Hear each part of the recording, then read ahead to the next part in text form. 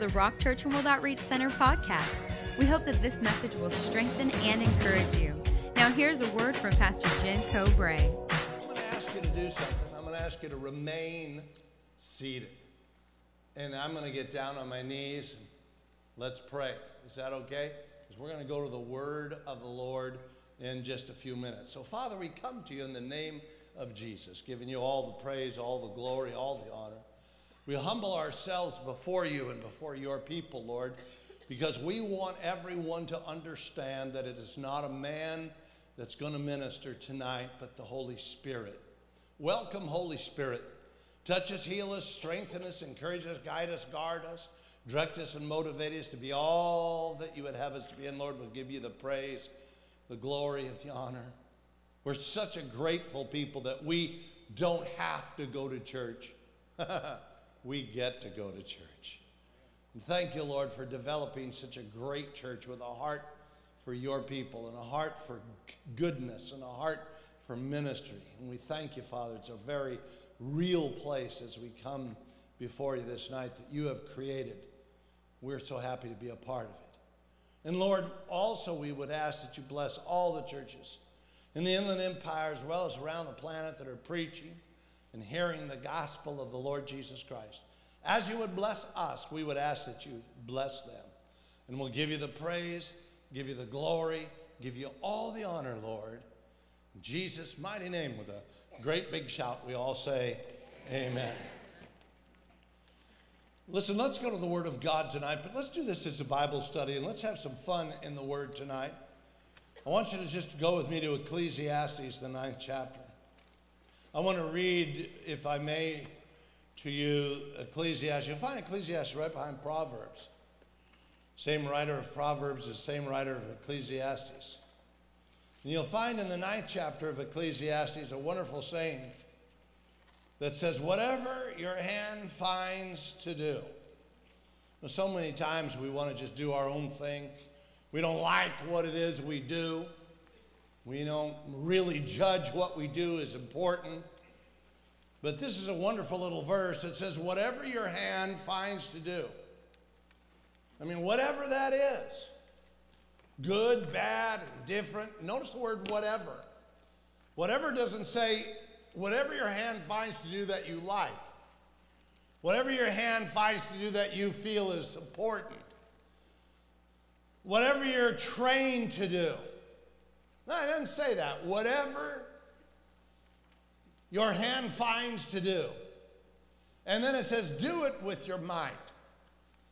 Old King James, I believe it is, or one of the translations says, do it with all of your might. And then he comes along and he says, For there is no work or device or knowledge or wisdom in the grave. Where you're going. In other words, you got a time here on earth, and you better do something with that time. And of course, the things that we're talking about are the things of the Lord. For all of us that are in here, you're going to have something to do, and God's watching to see how you do it. Do you do it with a zeal or a passion or a, an emphasis, or you just try to get by with where you're at? When you try to get by with where you're at, you're not fulfilling what God says for you to do. I love the people who get jobs. They thank God for getting a job, and three weeks later, they're complaining about their job. Like, please slap yourself. Thank God you get a job, and it may not be the most spiritual job, but do it unto the Lord. He's your real boss anyway. And so when you start complaining, you're really complaining about God who doesn't know what you need. So whatever it is you find to do, and then he says, do it with all your might or do it with your might comes along and says there ought to be a passion, there ought to be an emphasis. There ought to be, if you will, an excitement behind it. There ought to be, listen to this word, a zeal behind what you do. I can't imagine being married to Deborah and not having a zeal for her. And I'm grateful that my wife has a zeal for me. But more importantly than the zeal that she has for me is the zeal that Deborah has, and I fell in love with this. As pretty as she is and as wonderful as she is, I fell in love with the zeal that she had for the Lord. I knew I could trust that And God looks the same way at all of us. When there's a zeal for God, there's a trust that goes along with the zeal. Tonight, it's called developing a zeal for God. One of the things that I remember as a young man is I remember being part of a church. I actually started a church in Santa Barbara, California.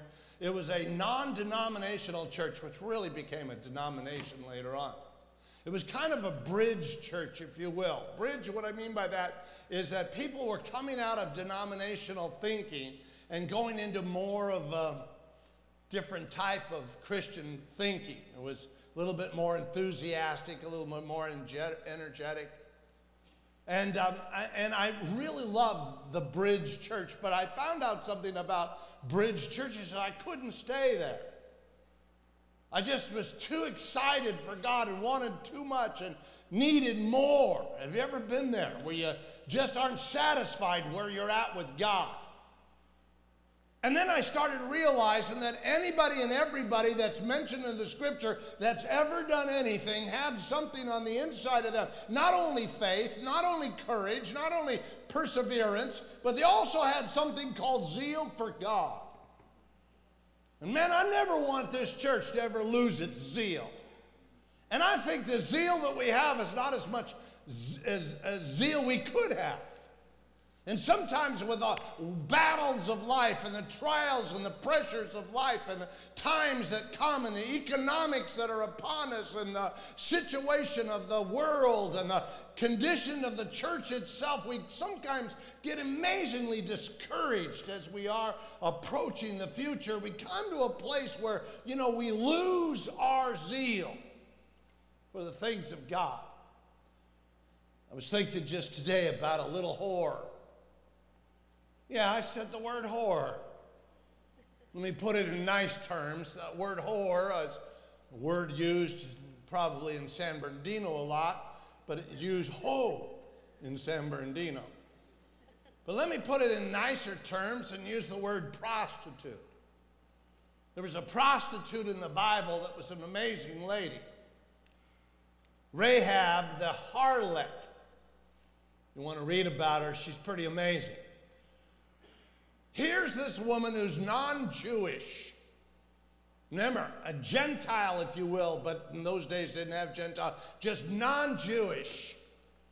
A heathen from an Amorite tribe.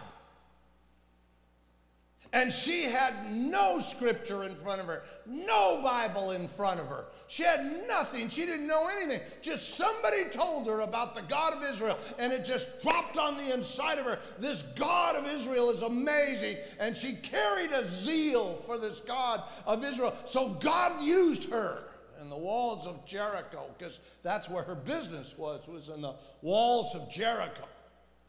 And you know how it is that she let the spies in and she protected them and let them out and they said, when we come back, we'll protect you. And sure enough, she was protected. Did you know that that woman who didn't have a covenant with God, an Amorite woman who was non Jewish, who was a prostitute, listen to this, is in the bloodline of Jesus? That's a shock. Her great, great, great, great grandson is David. Don't tell me God's not in the business of using people. What makes her wanting to be used? Why did God spot her? Why did God see her? Why does God see her differently than maybe he sees you or me? I believe it's just a little product called zeal. Just, just radical for God, just excited about God, just ready to lay it all down about God. It's just, you cannot get away from this. And when America gets to the place where it's compromised, what we have is we have a society and a Christian society that is compromised. It will never fulfill, nor will it ever help, nor will it ever carry the anointing that's going to break the yoke, that'll go after that 11 year old little girl and help her and bless her and tell her it's okay that Jesus is Lord and He can take care of her because He is the King of Kings and the Lord of Lords, and then do something about it. My goodness sakes, we will just all be deadbeat people who go to church and let somebody eventually end up throwing smoke and incense all over us. thinking that's good enough, when in fact, if we don't develop a zeal for God, a zeal to the place where your relatives think you're nuts. Now, there's a difference between a godly zeal and a foolish zeal. I'm not telling you to take your Bible and beat everybody up at work and walk down the hallways speaking in tongues and acting stupid. Your boss pays you to work, doesn't pay you to preach. But I am saying to you that you need to be a person that when it comes to God and you've got God time, man, there's nothing going to stop you from God. There's a passion on the inside of you that's never going to stop you. And developing that zeal and keeping that zeal, which is one of the things I find that a lot of people don't do, is they don't keep the zeal they originally started. Pressures take it away. Churches take it away. People take it away. Leadership takes it away. When in fact, none of us in leadership are perfect. I want to give you an emphasis, or give you, um, if I may, a good translation of the word zeal. Enthusiasm way beyond the norm. I didn't say acted like an idiot. I didn't say having some Pentecostal jig in the middle of your business meeting is what God's looking for. God's not looking for fools. Let me say this to you. You got to get this. The intellectual of intellectuals was Paul the Apostle. If you study out his life, the man was incredibly a genius intellectually. But he was not only an intellectual, he was very spiritual. And he was not so intellectual that he threw out the spirit. And he was not so spiritual that he threw out his brain. Are you following me? And man, that's a healthy, mature balance. And so sometimes we get so wild in our zeal that we turn everybody off. Then, can I just say this to you? Your, your zeal is just something for yourself and it's not for God. But we can have a zeal on the inside that so motivates us that we just keep on, keeping on, keep on going with God. And sometimes we have to be like Paul writes to Timothy stir up the gifts. And who's to stir them up but you? Nobody. I can't stir them up. But you have got to keep yourself fired up for God. You got to keep yourself when the whole world is looking like it's failing. I mean, in Rahab's world, if you stop thinking about it, her whole nation is failing before her very eyes. And yet she comes out alive. That's amazing to me. It's amazing because I would have fallen apart thinking if I they're all dead, I'm going to die too. But she kept something, she kept her heart. She was so zealous for God. She just knew this God would take care of her, and he did. And he'll do the same for you, my friends. I want to just go to how to develop zeal. It's really interesting. I was just there's probably a million different ways. But I have just four that God gave me quickly. It's just to go over with you, if I may. How to develop zeal. Watch this. Number one, start with your own house. In other words, if you can't be zealous in your own spot, how in the world can you be zealous with somebody else and somewhere else? And we ought to be a people who are wise enough to start in a small place. You know, God says, don't ever despise small beginnings. And start right where you're at with your own house. Because I know this if you cannot speak into the lives of the people that live in your house, it's going to be real difficult for you to speak into the life of other people.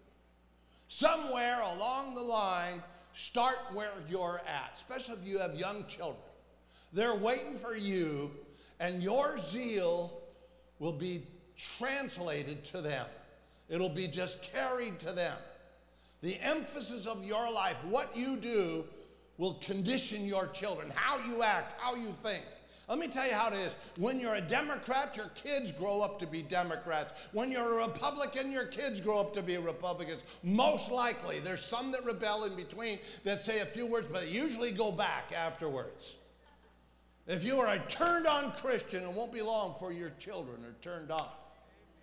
But if you're going to compromise, I want you to know something right now. You will fail, and the zeal of the Lord will not be there for you, and God won't even be there for you because nowhere in the Bible do I see anybody that's ever been successful compromising.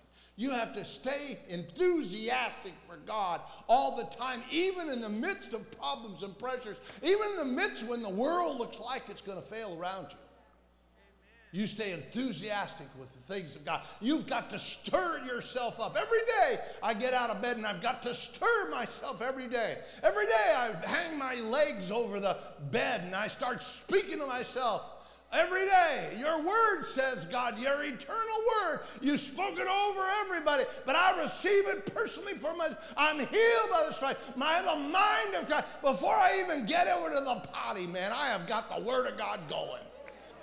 Before my bladder goes, the word goes. Are you hearing me? Ooh, glory to God. I'm, I'm telling you, this is just good.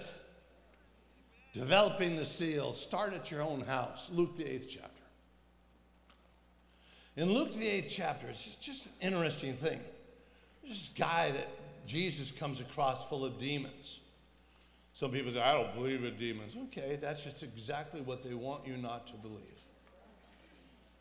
And can I just say something to you? Starting with your own house is not letting your house make its own decisions. The worst thing parents could do, let me say it again so you hear me clearly. The worst thing parents could do, and I'm, I'm sharing with you parents right now, is to make a statement, well, I'll present Christ to my children and they can make up their own mind. You say, well, what's wrong with that? Everybody does that. That's probably the right way of doing things. Yes, it is if you're not a Christian. There's nothing worse than you can do to let your children make up their own mind. They can't even change their dirty underwear, and you're letting them make up their, they can't wash behind their ears, brush their teeth, or clean their room, and you're going to let them make up their own mind? For me and my house, we will. Sir, you got to have that kind of an attitude of zeal towards things of God. See? And we've always had that. In fact, we used to write that in the cement in every house we built for me and my house, Joshua, you know, and put the scripture reference in there. And my son, when he was pouring concrete in his house, he wrote the same scripture reference. You know why he did that? His daddy did it. Now, here's what I'm saying to you when you leave your children alone to decide for themselves, the devil decides for them. There's no opposition. He says, oh, this is the devil now. He says, I could hardly wait to train your children. If you won't train them, I will. Are you following me? And we make the biggest mistake of our whole entire life with our children because we present something to them and say, now it's your choice. Let me tell you something. I presented and said, you don't have a choice. You're going to eat my food. This is the way it's going to be. You're going to live in my house. You're going to be under my roof. This is the way it's going to be. There's two things going to happen here. Number one, I'm going to knock the snot out of you if you don't do it. And two, I'm going to throw you out, and I don't care if you're eight. because here's the reason why. For me and my house, we're going to serve the Lord. And guess what? They wanted to eat they wanted to be warm. They liked the clothes. And they liked being under my arm, getting hugged and loved and kissed and encouraged. So, guess what? Case closed. Start in your own house with the zeal. So, Jesus is coming along. He runs into this demon possessed man. Man, the guy's got a legion in him. He doesn't have a devil or two, he's got a bunch. You know, it's like some of your relatives I know I got some relatives that way. Anybody know what I'm talking about? And, and they just get a bunch of demons, and he, he cast this demon out. In verse number 38 of Luke, the eighth chapter, it says, Now the man from whom the demons had departed begged him that he might be with him. But Jesus sent him away, saying, and here's what Jesus told that guy now that he's clean. And the verses before that said he had a sound mind which was amazing, he said these words Return to your own house and tell of the great things that God has done for you. Return. See, sometimes we have a zeal and we take our zeal everywhere else but our own house. So here's how to practice the zeal practice it, number one, in your own house. Number two, if we're going to develop a zeal, we're going to have to push past our own inabilities.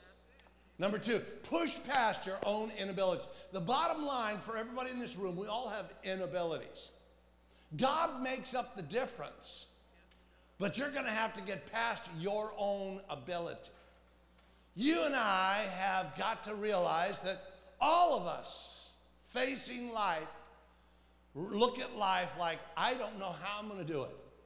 When you first took a job, you were frightened.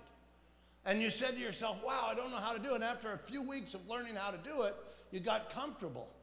And then you were no longer frightened anymore.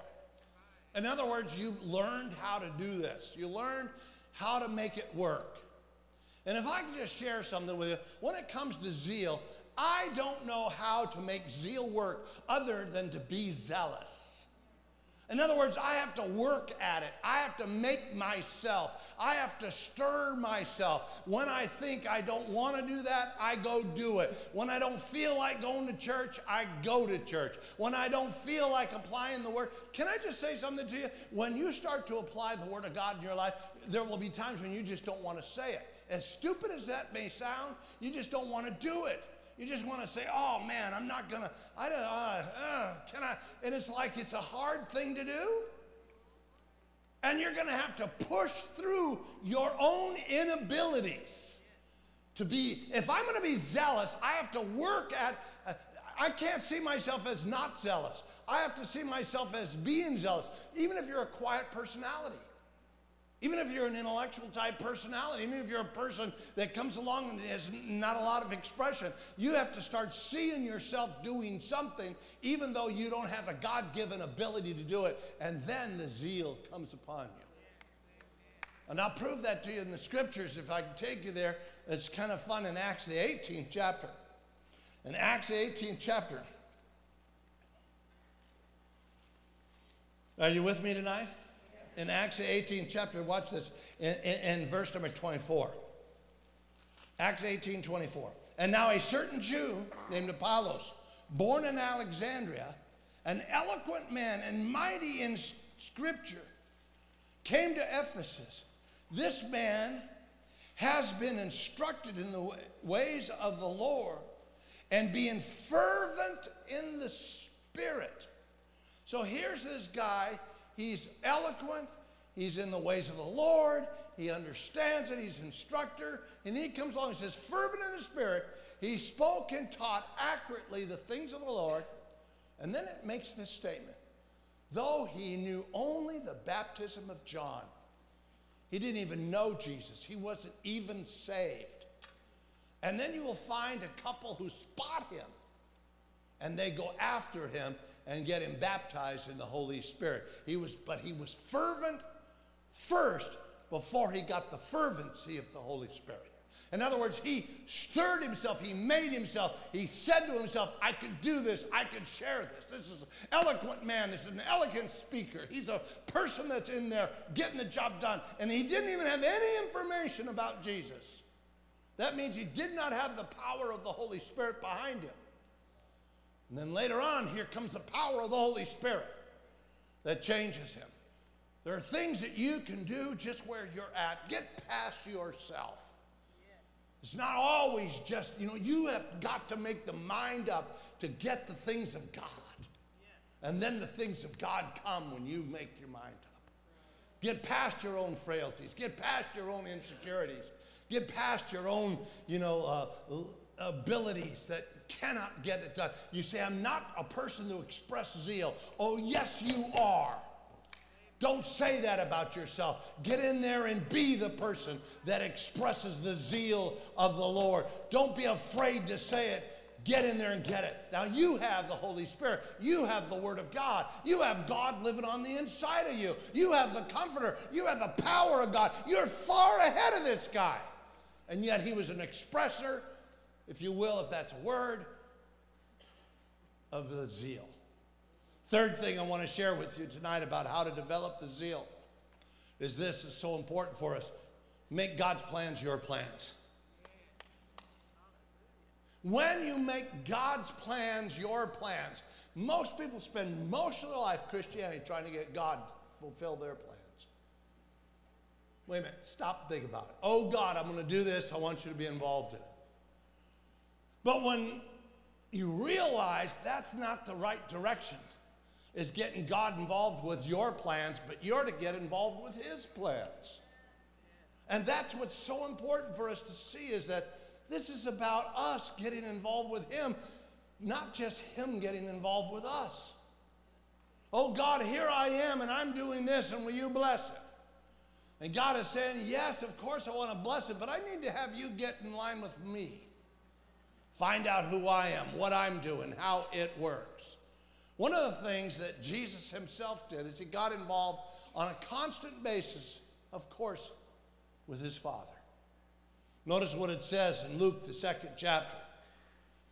Verse number 49, I'll just pop it up on the overhead for you. And he said to them, as they're seeking out where, where Jesus is at as a young man, Why did you seek me?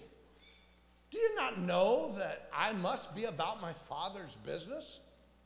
I mean, if we are going to make His plans ours, then this lifestyle of zeal for the things of God can't happen until you get into the plan of God. Until you get in what God wants for you. What does God want for you? He wants your home to be blessed. He wants your lifestyle to be blessed. He wants all of your heart. He wants a commitment from you. He wants you to be the expression on the, on the world. He wants you to be the hands. He wants you to be his shoulders. He wants you to be his heart. He wants you to be his mouth. That's what God wants for you. He wants to use you as his personal mouthpiece upon the planet to show the world that's lost and dying that Jesus is alive. And until we get to a place of zeal, we'll never do it. And we got to live there because you never know when the opportunity is going to come. You need to be zealous for the things of God. And when we get into the plan of God, I remember as a young man in, in my early 20s, I ran across this one verse and it jumped out at the page, and I thought I was a heretic for believing it for myself. Those were the days when you read the scripture and you said, Oh, wow, that's for the disciples, but it's not for you. Or that's about Jesus, but it's not for you. And then somewhere the light shined and said, Hey, this is not about the disciples, not about Jesus, it's about you. And he's telling you this so that you can get involved in his heartbeat. Sure, all of a sudden I got really turned on. In John, the fourth chapter, verse number 34, I'll pop it up on the overhead for you. This verse changed my life, even though it was about Jesus. And Jesus said to them, My food is to do the will of him who sent me and to finish his work. And when I read that, all of a sudden, as a young 20, 24 year old man, 25 year old man, my world changed. All of a sudden, that verse jumped off the page. I still got it in my Bible, that old rickety old Bible. I still have it, and I and I and I circle it and I circle it, and I said this to myself: that word is for me. And I told it to somebody, and they said, "Oh, man, you must be a heretic, because that's Jesus." You understand? I'm in Jesus and Jesus is in me. What he does, I do. He's my example. And if he makes that statement, my food is to do the will of him who sent me and to finish his work, now I got the plan of God. Doesn't mean I can't do business. Doesn't mean I don't love my wife. Doesn't mean I don't raise my kids. Doesn't mean I don't, you know, vote. Doesn't mean I don't do the right things in society and social systems. I do all of that. But here it is. My ultimate goal is to get into the plan of God, and my plan of God that I have and you have is to do His will and to finish the work. Did you know the work of the redemption is done on the cross at Calvary? Nobody's going to the cross anymore. The blood has been shed. The job of redemption's done. But carrying out what the blood did to a lost and dying world, that has not been done yet. And the church is called to do that part. Is anybody listening? It's called zeal. You can't do it until you get into his plans. We're talking about developing the zeal, if you will, how to develop it. Remember, we're talking about start with your own family and push through your own inabilities. We're talking about number three, remember making plans and his plans, your plans. Here's number four you got to be zealous for souls. I mean, you got to realize that there's people that are going to die and go to hell. Have you ever wondered why they're going to die and go to hell? Could it be their background? Could it be they make choices that are bad? Of course. Could it be that they were brought up differently than you? Why are you here and they're not? You say, Well, I make choices. Well, maybe they aren't and don't have the ability to make the choices you have. Maybe they didn't have the mom you had. Maybe they didn't have the dad you had. Maybe they didn't have the education you had. Maybe they didn't have, well, you know, what my kids had with a dad around their uh, arm around their dad, uh, a dad with their arm around them, holding them. I remember my dad was a tough man.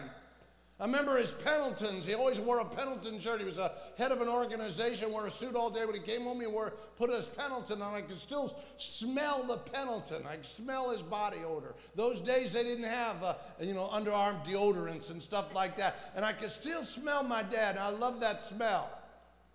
And I remember him holding me. My dad was a tough guy. But I remember him holding me. You ever realize that people are lost and dying and going to hell? Maybe they didn't have a dad like I had. Maybe they didn't have a life like you have. Maybe they didn't have somebody that cared about them. Maybe they nobody told them about Jesus. Maybe what they really need to make their life work is Jesus. And you're the mouthpiece to tell somebody about Jesus. And until you have the zeal, it will never work. We'll just be a dead organization that do nothing. And I don't want to have any part of that.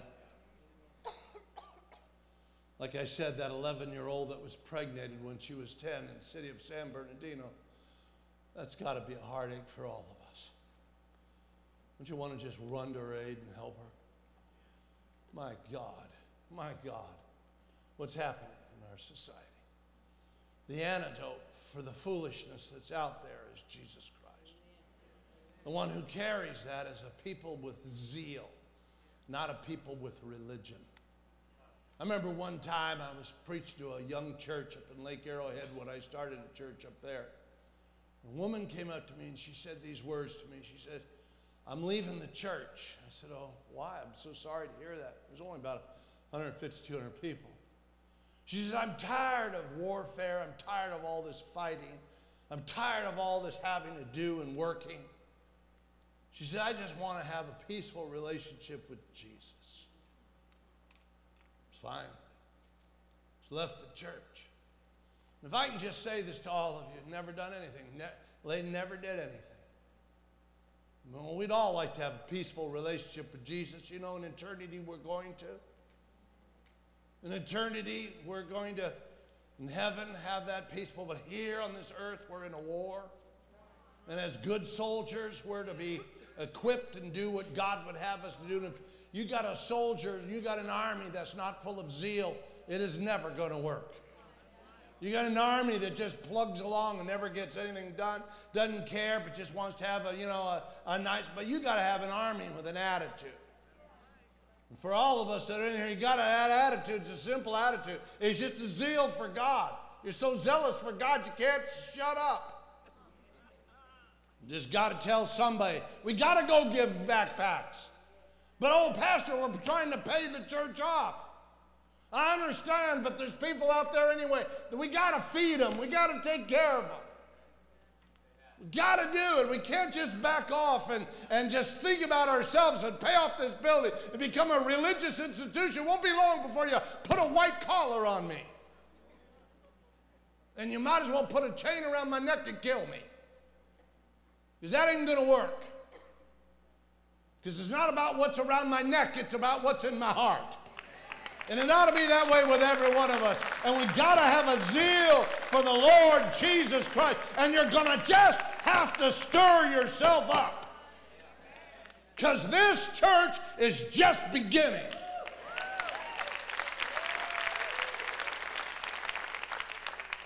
You can be proud of it because it'll be done in a godly way and not some foolish way.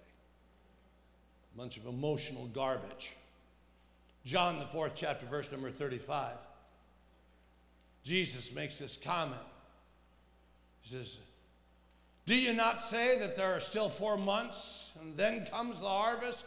Behold, I say to you, lift up your eyes and look at the fields, for they are already white for harvest. In other words, this is the time. Don't wait. This is the time. Stir yourself up. Be full of zeal. The world is waiting. The people need to get right with God. And the only hope for their future, the only hope for their marriage, the only hope for their children, the only hope for their families, the only hope for their jobs, the only hope for their resources, the only hope for life is Jesus Christ. And it can't be just preached from this pulpit. It's got to be preached with people who have a zeal just like the pulpit. That's what this is all about. Come on, you ought to give me a greater clap offering than that. Paul writes, talk about zeal. In Romans, he says his desire is that all of Israel might be saved. He says, if I could lay my life down for my brethren, I would die for them, but I don't have to because Jesus already did. I'd do it to get them saved. That's the attitude you and I ought to have a zeal for the things of God. Now, I'm not saying don't take a rest, I'm not saying don't take a break. I'm not saying you can't go play golf or go fishing or have fun, barbecue with your families and love each other and watch television. I'm not saying any of that. But I'm saying don't let that get to you you have such a zeal for God. Don't stop with the shallow things of this world, but stir yourself up to carry the banner of the Lord Jesus Christ to a lost and dying world because without your zeal, we become a dead church. Come on, somebody. And can I ask you a question? Do we need, does San Bernardino or the Inland Empire area doesn't need another religious institution. By no means does it need that. What we need is a fervent group of people that believe God for great, mighty, marvelous things. A God that wants to heal them, a God that wants to set them free, a God that wants to save their life, a God that wants to mend their marriages, a God that wants to take their children in, a God that wants to love them so they don't have 11 year olds getting pregnant in the streets of San Bernardino. Come on, somebody.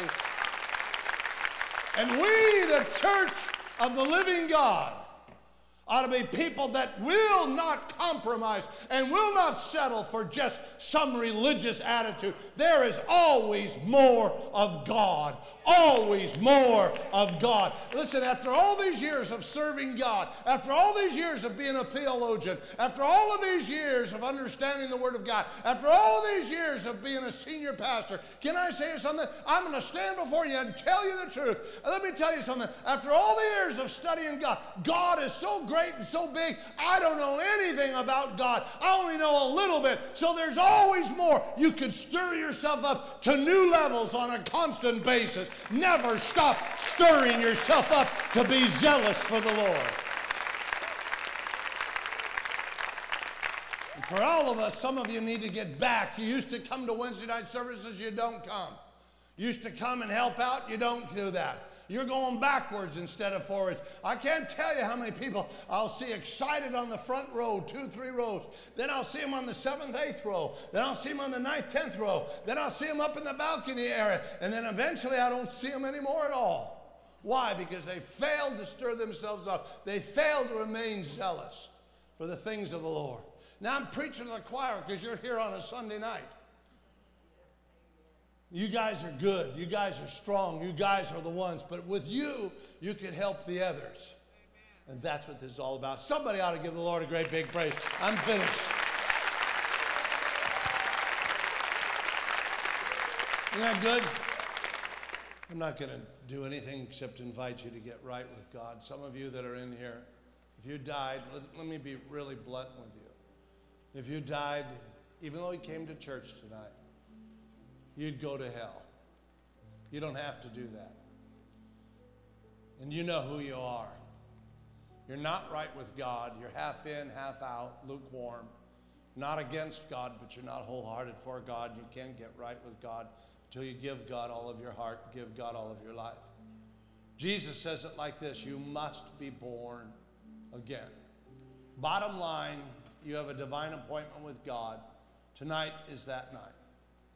And tonight, you can give God all of your heart. We'll pray with you. And give God all of your life so that you can be born again, headed for heaven, and denying your presence in hell.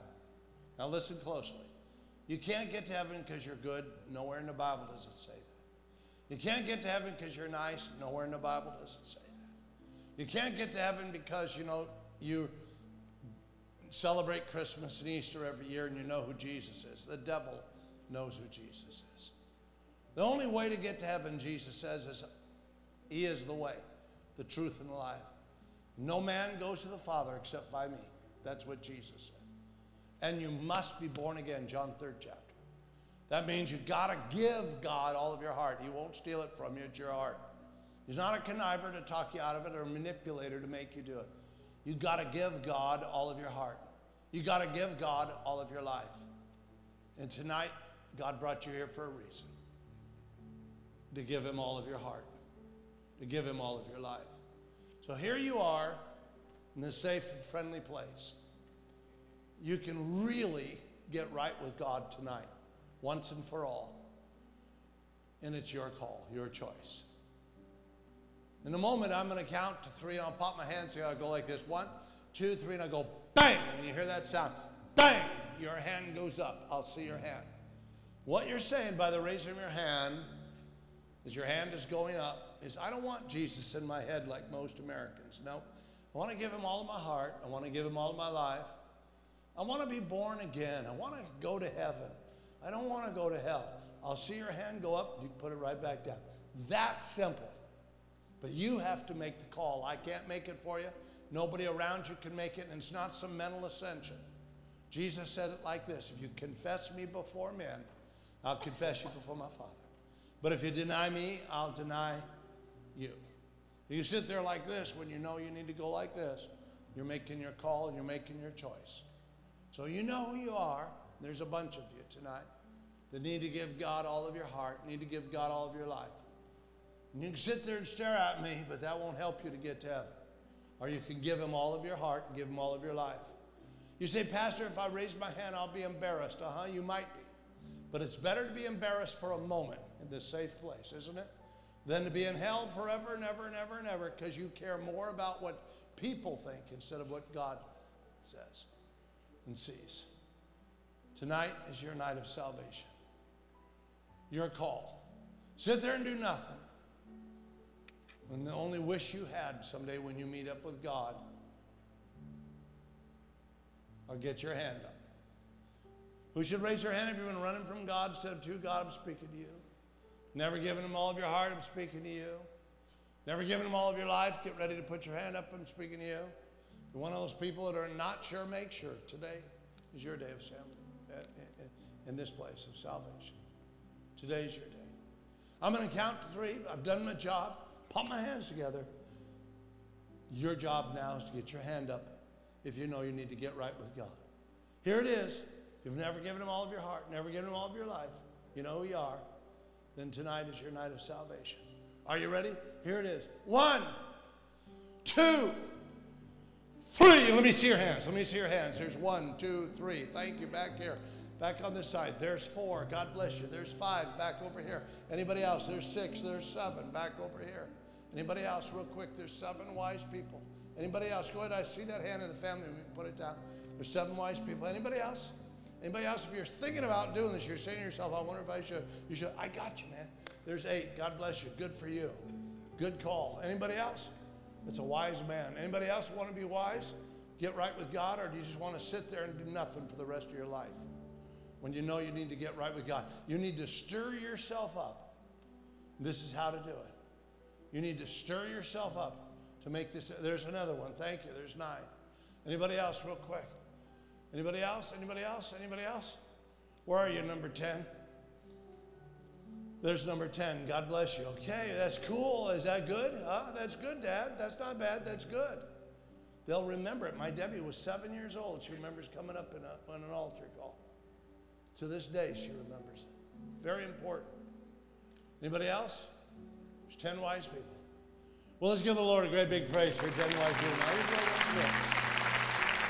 All 10 of you, I want you to get a hold of your coat, purse, sweater, Bible, friend, get your stuff. I want you to get out of your seat. All 10 of you. All 10 of you now. All 10 of you, and anybody that should have raised your hand, but you didn't. Check with your neighbor. Say, come on, I'll go with you. But uh, get your stuff, get a neighbor, get your friend. If you're in the family room, get your kids. Hurry to the door. Ushers, get up there and help them out. Uh, did you hear me, ushers? Get up there and help them. That's your job now. They're, they're doing it. They're doing it.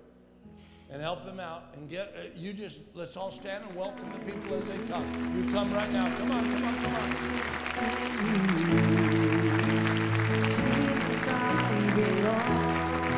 Come on, come on, hope. God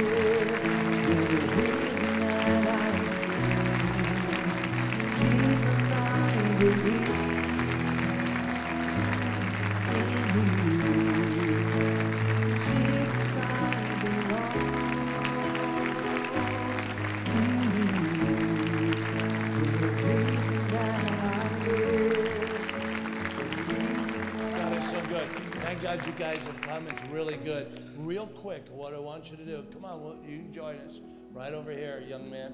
Dad, bring, are you the dad? No, no, right down here. Are you the dad? Okay, good. Good call, Dad. It's good.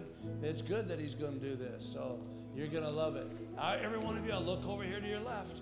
See this guy waving at you? His name is Pastor Joel. He's going to pray with you and give you some free stuff. Take home, tell you about a program we have to help you get strong in Jesus. Only takes a few moments. Is that okay? So every one of you, we love you and listen closely. The people you came with, they'll wait for you. So make a left turn. Follow Pastor Joel right over that way.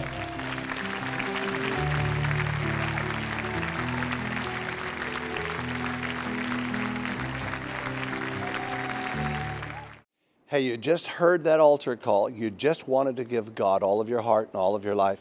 Now, let me lead you simply in a prayer of inviting Jesus Christ into your heart as your Lord and Savior. In fact, why don't you just go ahead and listen to me? And go ahead and close your eyes and just repeat these words after me. I'll go slow, you repeat them. Say these words Say, Father God, I come to you in the name of Jesus.